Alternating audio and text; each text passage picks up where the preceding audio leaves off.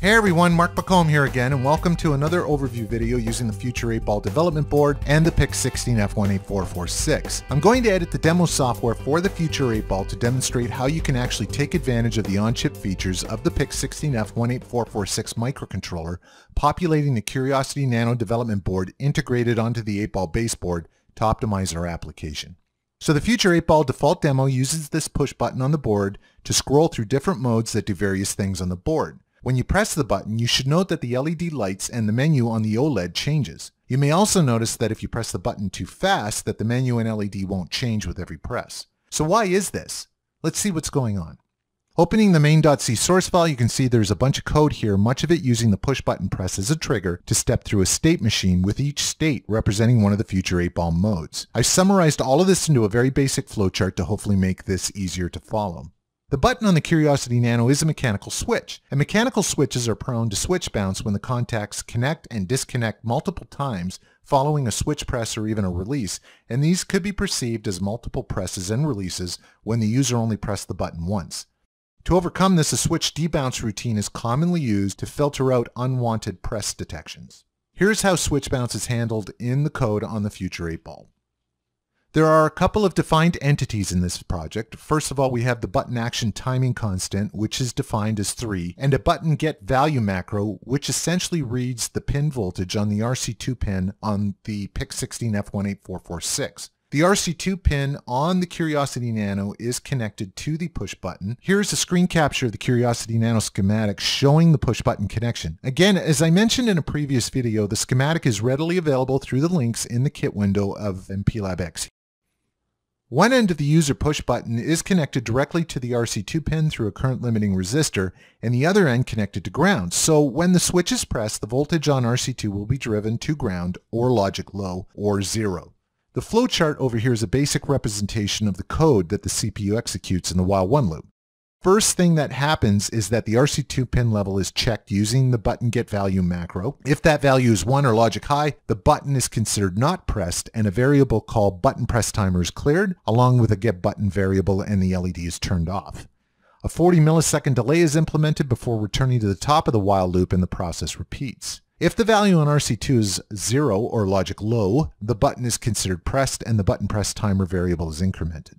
In the next check, the button press timer is checked against our defined button action timing, which is 3. If the button press timer value is greater than 3 and the get button value is 0, then a valid user button press is determined and a state machine, which controls, among other things, the menu and associated modes on the future 8-ball moves to the next state and the LED is lit.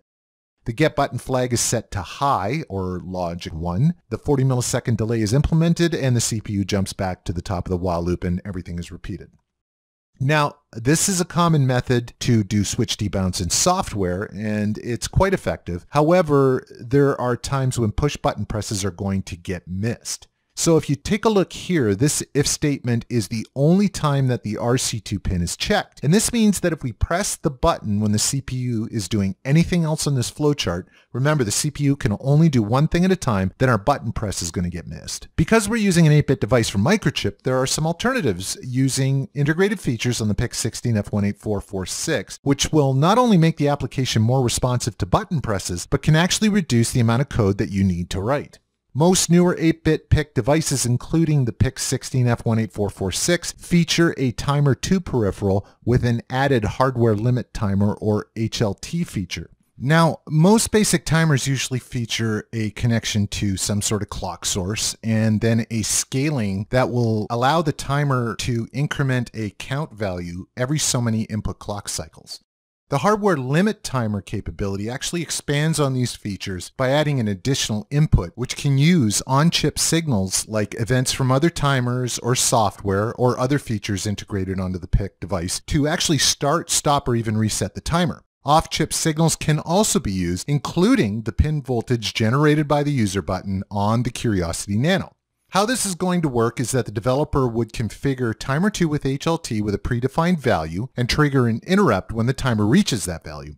To start the timer, the RC2 pin signal is used and the timer is configured to start on the falling edge of the pin signal. So when someone presses the button, the timer starts counting to the predefined value, which has been set to a period that will give the button plenty of time to stop bouncing. Once that predefined value is hit, an interrupt is triggered notifying the CPU of a valid button press. No need for additional code to take care of counts through loops or flags, etc.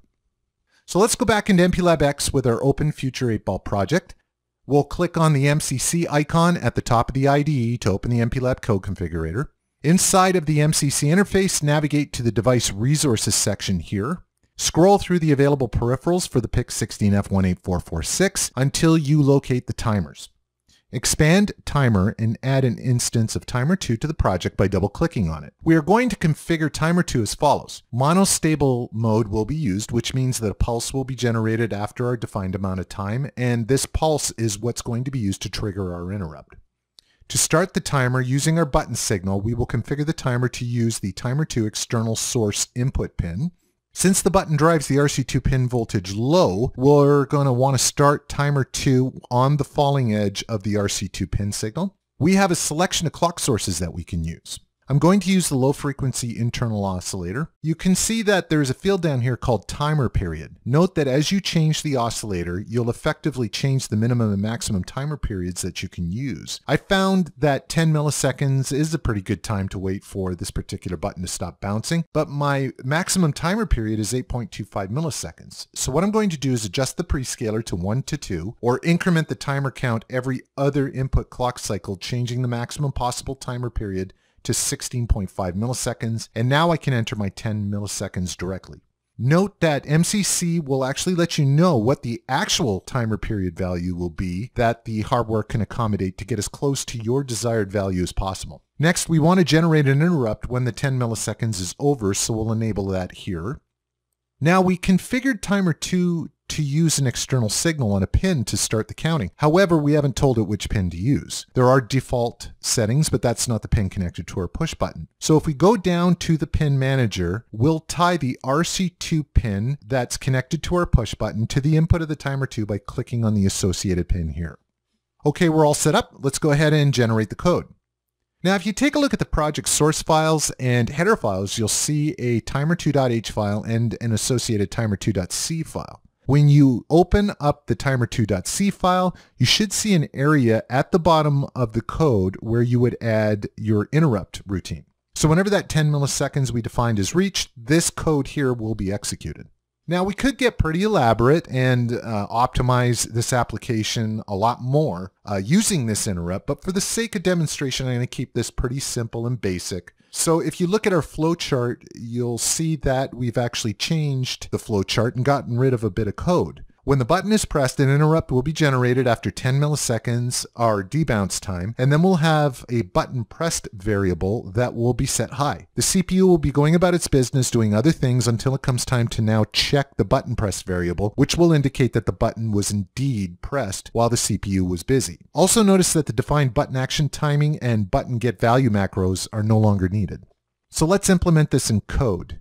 Going back to our code inside of MPLAB X, we'll create an integer variable called button pressed, which is a flag, and we'll initialize it to zero. Inside of our interrupt service routine in timer2.c, we'll set the button press flag high since we've been interrupted by a debounced button press. Going into our main.c, we want to use that button press flag from the timer2.c file, so we need to initialize it here as an extern. So when the flag is changed inside of timer2.c, we'll now be able to see that from within main.c. We can now get rid of the first if statement here, making sure we get rid of both curly braces. In the second if, we can change this line to just check the button pressed flag. Finally, we'll reset the button press flag by clearing it to zero so that other button presses will be detected. And that's it. Program the Curiosity Nano. Once programmed, you should notice that the LED and menu on the Future 8 Ball are a lot more responsive to button presses. This is the power of using peripherals for low-level tasks. 8-bit PIC and AVR microcontrollers from Microchip really focus on high levels of peripheral integration so that tasks such as these and many, many more can be done in hardware rather than using software in the central processing unit. I would highly encourage viewers to check out a great app note which actually implements a couple even more robust switch debounce routines called Robust Debouncing with Core Independent Peripherals. To find this app note, you can either search for it on the Microchip homepage uh, using the app note number AN2805 or using your favorite search engine. For more application examples related to the Future 8 Ball board, please visit the links on your screen. My name is Mark McComb. Thanks for watching.